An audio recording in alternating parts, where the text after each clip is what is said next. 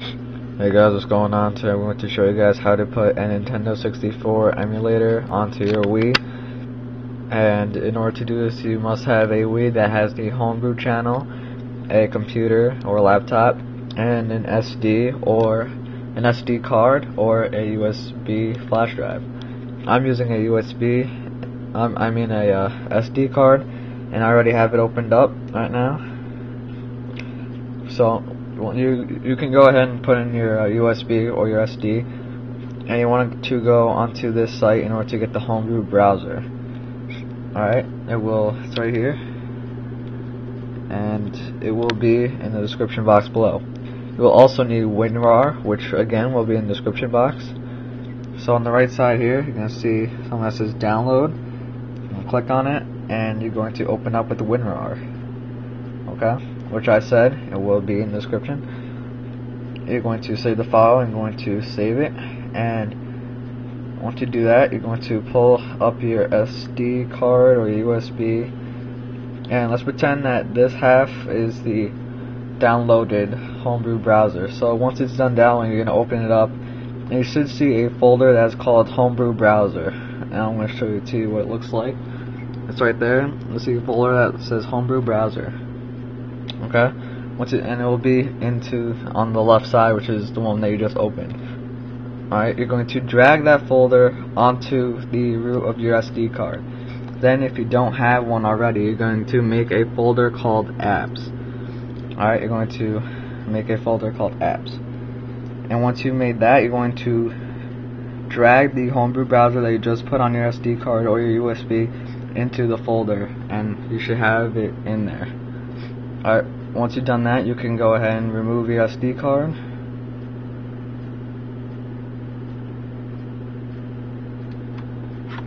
Alright, here's mine. Now we go to the Wii. Go ahead and put your SD card or USB into your Wii. And let me just grab my Wii remote real fast.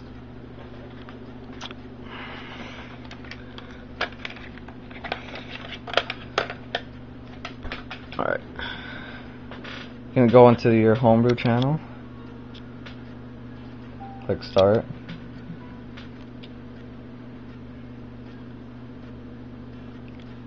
Wait for that to load up. You're gonna click on homebrew browser. You're gonna click load. Then you'll get a bunch of text.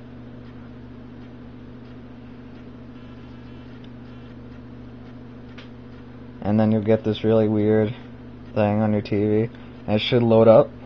Once it loads up, you're going to go into emulators, and you will scroll down until you see um, Wii 64.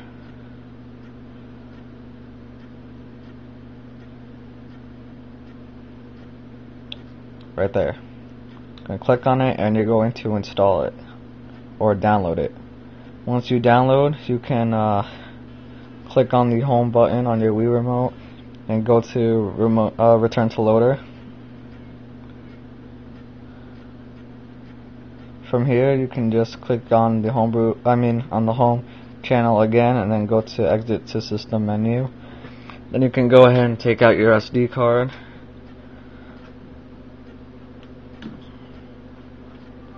Alright, now I'm just going to take out my SD card. Alright. Once you got your SD card back and go back onto your computer, go ahead and put your SD card back in.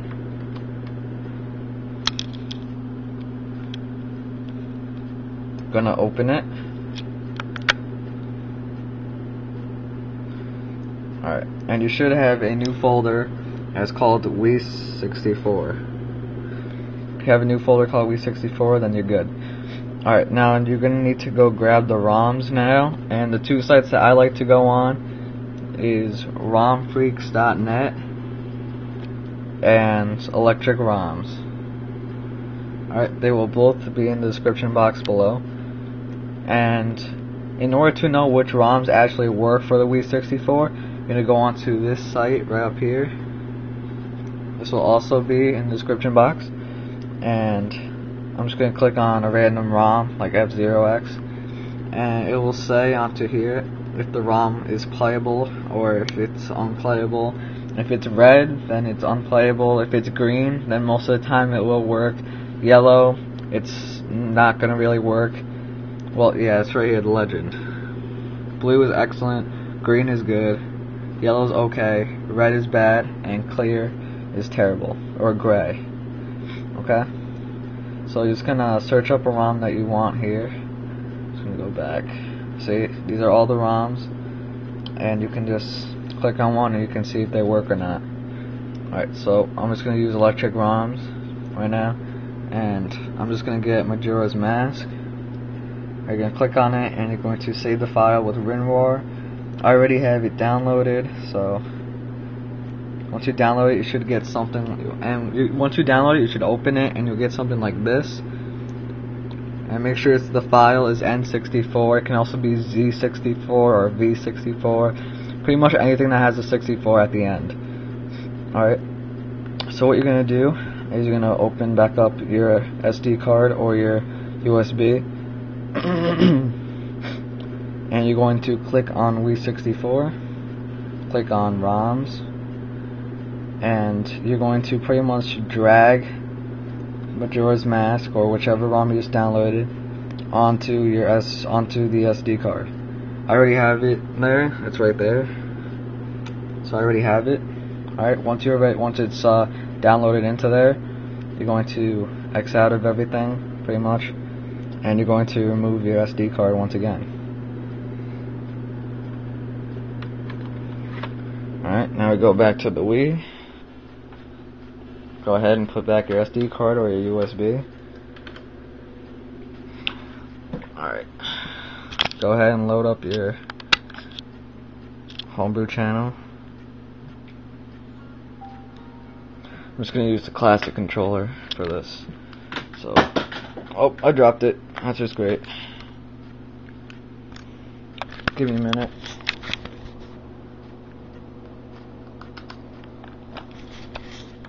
Sorry about that, I had to plug in my classic controller. Alright, so here it is. We're gonna go to Go ahead and load up Wii 64.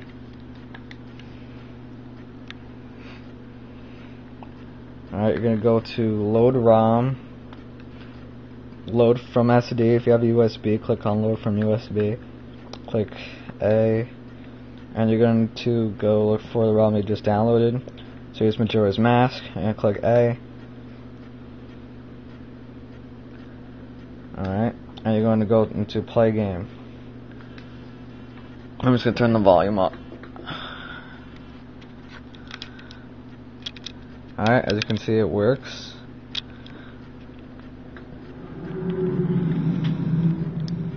Works perfectly.